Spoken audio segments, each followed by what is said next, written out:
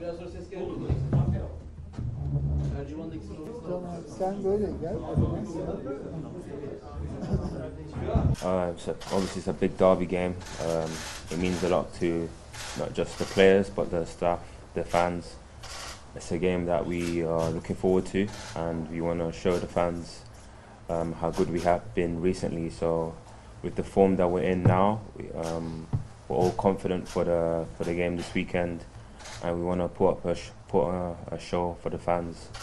So I can't wait. Büyük bir derbi maçı oynayacağız. Sadece biz oyuncular için değil, kulüp çalışanları ve taraftarlar için de gerçekten çok önemli bir maç, e, çok büyük bir maç, çok anlam ifade eden bir maç. Gerçekten bu maç için sabırsızlanıyoruz. Taraftarlarımıza son dönemde olduğu gibi ne kadar iyi olduğumuzu göstermek istiyoruz.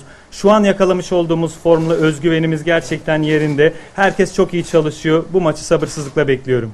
question. I feel like if, if I keep progressing in this po- position and I see myself improving and the team improving, then of course it's a position that I, can take more seriously. Açıkçası bu konuyu çok fazla düşünmedim. Tabii ki ben oynamak istiyorum. Benim için hangi pozisyonun olduğunun bir önemi yok. Hocamız benim nerede oynamamı isterse ben her zaman elimden geleni yaparım.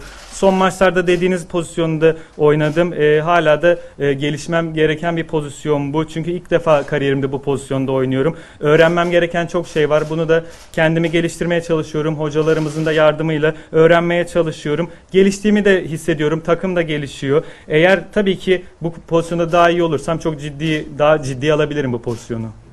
I know what I can bring and what I can do to help the team. So, like I said, um, it's partly to do with the coaches and staff, and also to do with me. You know, I, I'm confident in my ability, so I just know that if I keep working hard and showing in the training ground, then I can keep playing and performing.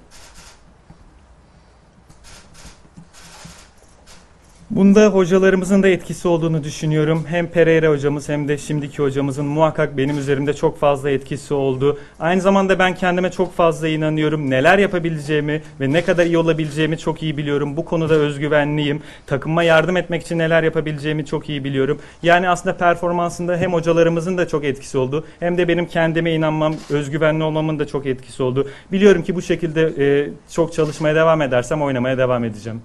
I'm a very happy player. I feel like everyone in the club has made me feel happy. So yeah, I've, I've seen I've seen messages, I've seen rumors about me not being happy or me being alone, but the club have literally made me feel so welcome from the from the moment I've come here. So no problem towards that. I just feel like I said, every time I take pictures or it's on social media, it's always at the wrong moment. So that's all I can say. Aslında şunu düşünüyorum. Çok yanlış anlarda fotoğrafa yakalanıyorum. Çünkü ben gerçekten burada çok mutluyum. Bu kulüpteki herkes beni gerçekten çok mutlu ediyor. Bana da bazı mesajlar geldi. Bu tarz dedikodular duydum mutsuz olduğuma dair. Ama ben buraya ilk geldiğim andan itibaren gerçekten çok iyi karşılandım. Hiçbir problemim yok. Dediğim gibi aslında fotoğraflarda hep yanlış zamanda yakalandım.